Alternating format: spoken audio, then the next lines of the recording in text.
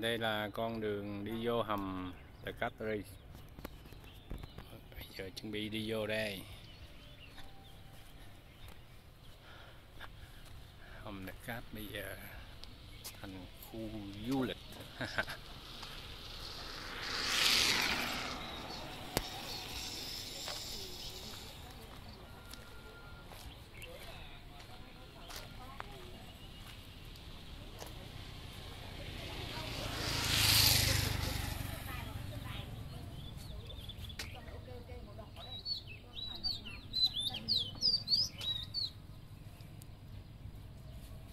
15 ngàn một người. Ồ, quay cái phim này 15 ngàn đó nha.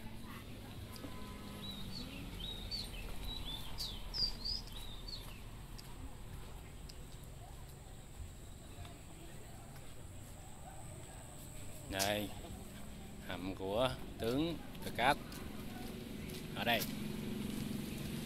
Đây là căn cứ chỉ huy của tướng Đờ Cát ha. Lý ra phải là năm sao mới đúng chứ trời. Tại sao tướng mà ở đây? À không. Ông Đờ Cát này lúc mà ông à, còn ở đây ông chỉ mới là đại tá thôi đúng không? Chưa có lên tướng. À, sau đó ông mới lên tướng. Ông về pháp ông mới lên tướng. À, thì à, nó thả mấy cái à, huy chương cho ổng nhưng mà sau đó cũng bị bên đây lấy mất. Bây giờ mình xuống coi chà nếu mà không có đèn chắc nhiều khi không nhìn thấy đâu.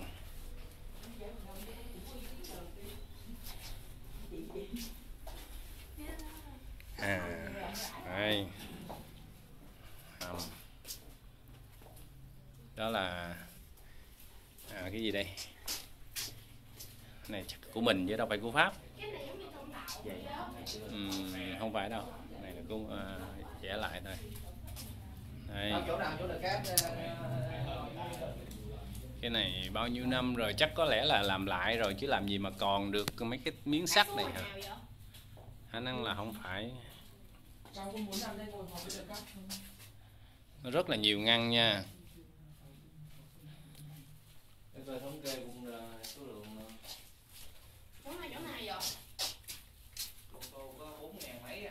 Chỗ này là chỗ để điều quân.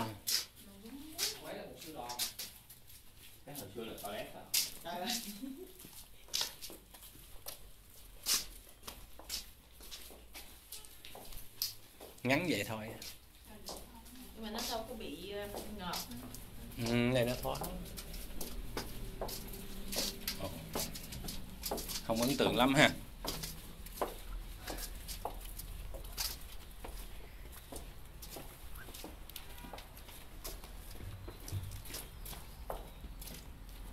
ngân nó đi đâu?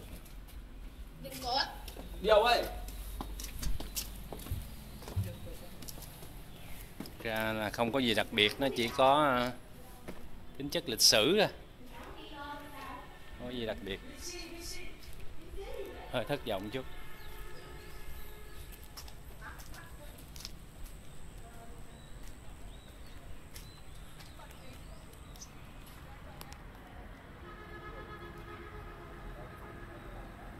này giờ được bảo quản kỹ